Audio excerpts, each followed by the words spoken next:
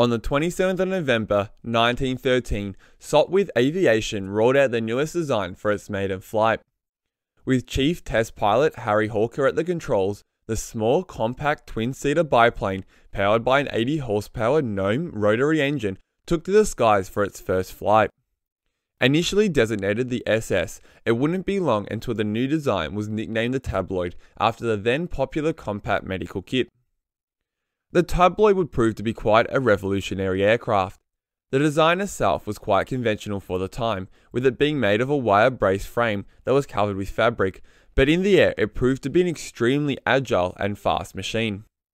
When it made its first public display at Hendon on the 29th of November 1913, it wowed the crowd with its flying capabilities.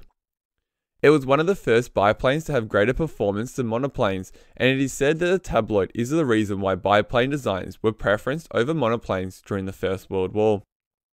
In one demonstration, Hawker managed to loop a tabloid some 12 times in a row. While the prototype was a twin seater, all production models would be built as single seaters. Production models also had the addition of a redesigned tail unit. Additionally, original tabloids had wing warping capabilities for lateral control, although this was replaced on later versions with conventional ailerons. It was able to reach a top speed of 93 miles per hour. The British War Office showed interest in the new design and in December 1913 had placed an order for nine single seat versions of the tabloid, and in March 1914 the order was amended to 12. The first examples were ready for delivery to the military in April 1914 and by June had entered service at Netheravon. It was the first production aircraft to see service with the military as a single seat scout aircraft. In all, the Royal Flying Corps would take delivery of 36 tabloids. In January 1914, Harry Hawker took the prototype tabloid to his home country Australia for a series of demonstrations. His flying abilities wowed the crowds at Sydney, Ballarat, Albury, and Melbourne and was sometimes witnessed by crowds surpassing 50,000 people. The demonstrations given by Hawker had never been seen in Australia before.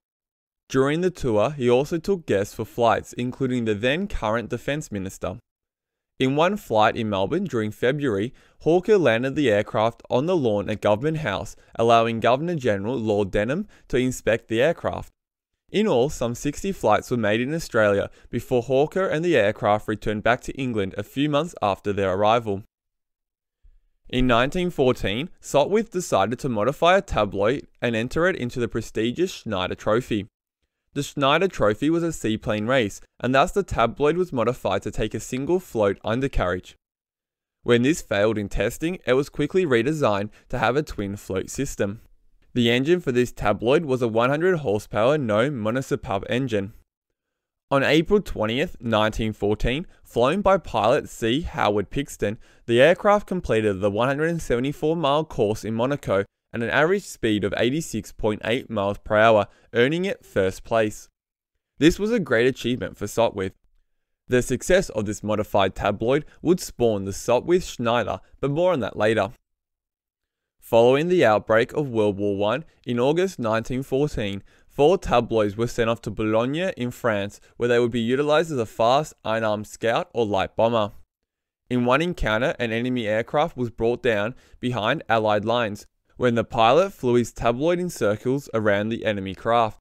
He was only armed with steel darts. The tabloid was also the aircraft utilized for the first bombing missions over Germany during the war. However, by late 1914, the Royal Flying Corps had deemed the tabloid unsuitable for operations. The Royal Naval Air Service had also shown interest in the type and ordered 16, which started arriving in October 1914. They also took a few examples from the Royal Flying Corps. On the 8th of October 1914, two Royal Naval Air Service tabloids were successful in bombing the Cologne railway station and the Zeppelin sheds in Dusseldorf flown by Squadron Leader S. Grey and Flight Lieutenant R. L. G. Marix, each was armed with two 9 kilogram bombs. Grey was unable to locate the target and instead bombed the railway station at Cologne, while Marix successfully dropped his bombs on the Zeppelin sheds at Dusseldorf, destroying the Zeppelin Z 9 airship. A single tabloid was to be utilized to test the deflector propeller system. This was a system where the propeller was fitted with steel plates that would deflect bullets when the airman fired his guns through the propeller. With the Royal Naval Air Service, the tabloid would see usage with home defence units, where they sometimes had the addition of Lewis machine guns added above the wing center section. Furthermore, in early 1915, four tabloids were packed aboard HMS Ark Royal and sent to the Dardanelles. The Sopwith Schneider was a seaplane development of the Sopwith tabloid. It was very similar to the tabloid apart from having twin floats, a 100 horsepower Gnome monosoupape engine, a larger fin and rudder, as well as reinforced bracing. A single 303 machine gun was also fitted. Production of the Schneider began in 1914. Becoming available for service in early 1915, they were initially put into service to undertake coastal patrols along the English coast, looking out for enemy airships. Some were even put on light cruisers in the North Sea to try and intercept Zeppelins, but heavy seas often prevented them from being successful. It was in the Dardanelles that both the Schneider and Tabloid would have its most success as a military aircraft. Throughout the Gallipoli campaign, they were utilized for a range of roles, including light bombing and photo reconnaissance work. The tabloids were utilized from a land base at the island of Tenedos, an island just off the coast of the Gallipoli Peninsula, while the Schneiders were operated by both HMS Ark Royal and HMS Ben My Chree. The Schneider was still operating the Aegean area as late as November 1916, where during that month, one example successfully shot down an enemy aircraft no original Sopwith tabloids or Schneider exist today.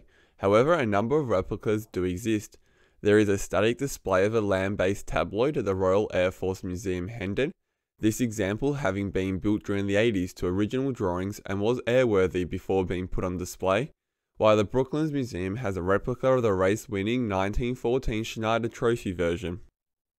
Furthermore, in 1998, a company, Airdrome Aeroplanes, based in Holden, Missouri, USA, built an airworthy example. Airdrome Aeroplanes now sell a Sopwith tabloid kit for enthusiasts to build, and in 2012, another airworthy example was built based on this kit. It seems that at least 32 tabloids were built, with some sources stating as many as 42 were built, while a further 136 Schneiders were produced. While its military career was short, it would be the start of a long line of Sopwith fighters that would play a pivotal role during World War I. The ultimate of this line of development was the Sopwith Camel. Still, when the tabloid first flew, it was the best of the best, a showcase of British engineering.